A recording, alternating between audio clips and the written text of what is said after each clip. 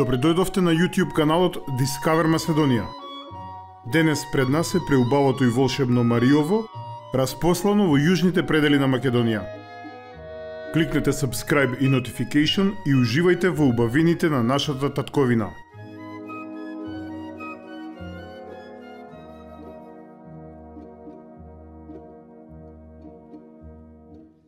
Преубавото Мариово Прекрасно, недопрено, авантуристичко, Мариово кој привлекува со својот сјај и убавина.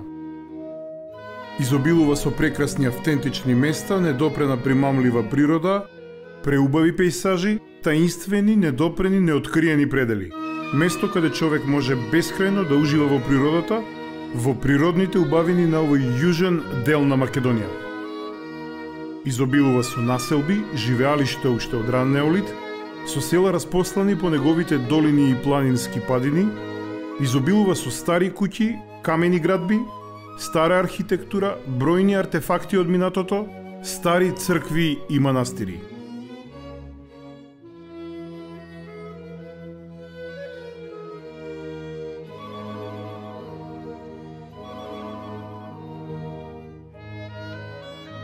Во средината на овој преубав предел, во така нареченото Прилепско или Старо Мариово, се наоѓа селото Витолиште, распослано на падините на планината Козјак, од десната страна на реката Црна, на надморска височина од околу 830 метри.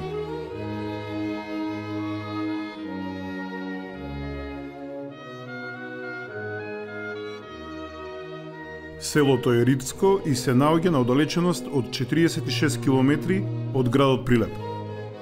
Најголемото село во Прилепскиот дел на Мариово и представува негов природен рурален центар. За присуството на луѓе и организиран живот на овој простор сведочат и повеќето археолошки наоѓалишта и наоди од преисторискиот и античкиот период, меѓу кои е и една камена плоча со римски надпис која стои веднаш крај селската чешма. Најстариот запис во кој се спомнува селото Витолиште потекнува од втората половина на 15 век, односно од турските записи од 1476 година, во кои се вели дека во селото живееле 80 на семејства.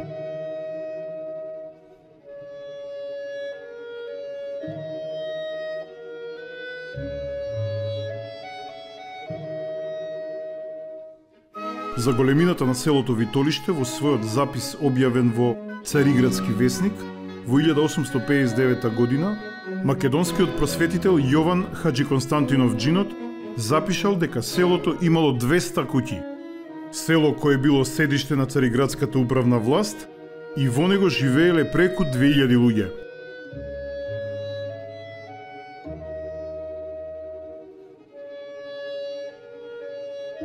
Од стопанските гранки некогаш биле многу развиени земјоделието, сточарството, пчеларството и шумарството. Некогаш во и околу селото имало седум воденици и богати овоштарски расади.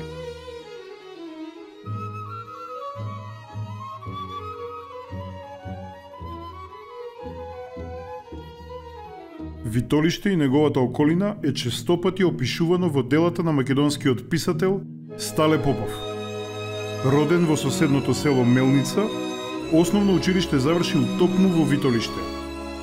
Действието на најпознатиот роман на Стале Попов Крпен живот почнува во Витолиште како центар на Мариовскиот регион.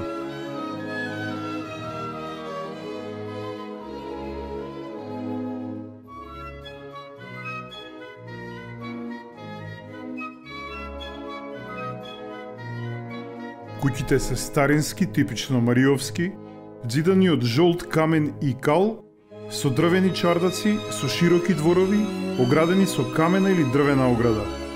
Споменици на едно дамнешно време, во кое на секаде по улиците се слушал детски джагори смеа, споменици на времето кога селата биле полни со луѓе.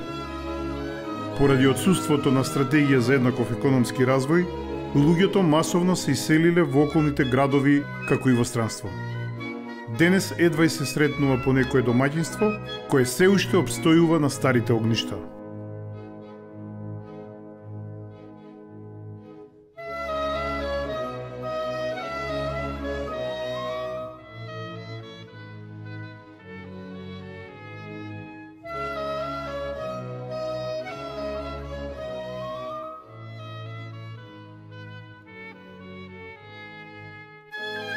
Интересни споменици на ранохристијанска градба од типот базилика сретнуваме на самиот влез во селото. Два елементи од ранохристијански храм од бел камен, кои се релативно добро изработени, украсени со крстови и одлично сочувани низ времето. Црквата Светијата Наси е главна селска црква која што се наоѓа веднаш на влезот од селото. Свети Атанаси на ден 31 јануари е патрон празник на црквата и главна селска слава.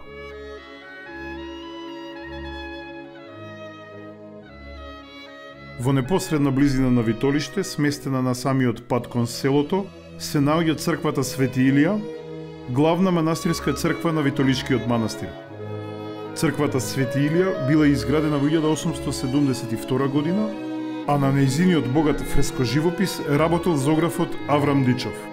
Во минатото, во манастирот имало бројно монашко братство.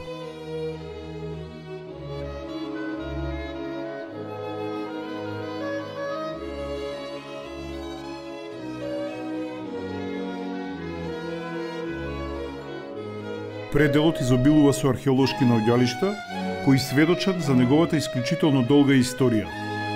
Се сретнуваат преку 20 археолошки наоѓалишта во и околу селото.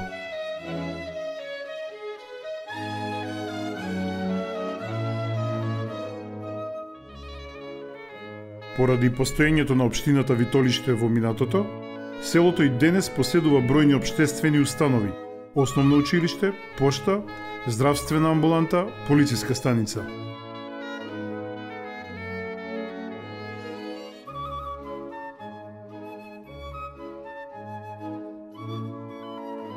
Во денешно време, убавините на Мариово се многу поволни за планинарење, алпинизам, параглайдерство.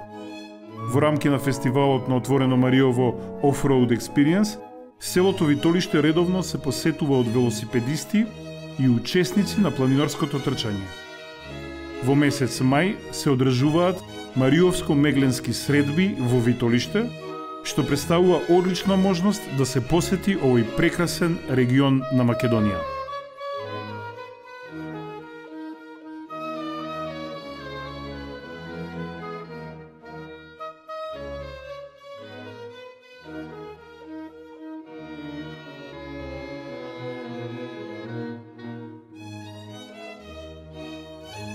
И секако, доколку решите да го посетите овој крај, обавезно посетете го етно ресторанот Мариово. Преубав традиционален ресторан, сместен во недопрена природа, во прекрасен амбиент, уреден двор, со многу етно елементи и типична македонска мариовска кујна. Брза услуга, традиционална храна и преубав амбиент во етно ресторанот Мариово.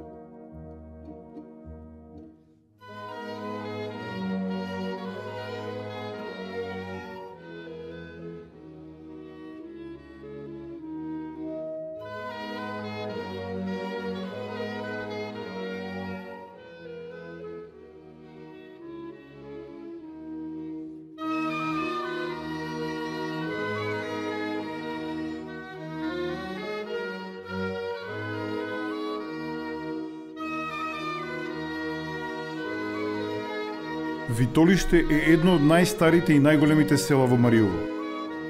Чистиот воздух, раскошната природа, преубавите пейсажи како и мирот и тишината кои ги нуди овој Мариовски регион, се одлична причина да се посети овој јужен дел од Македонија и да се ужива во убавините на Витолиште и Мариово.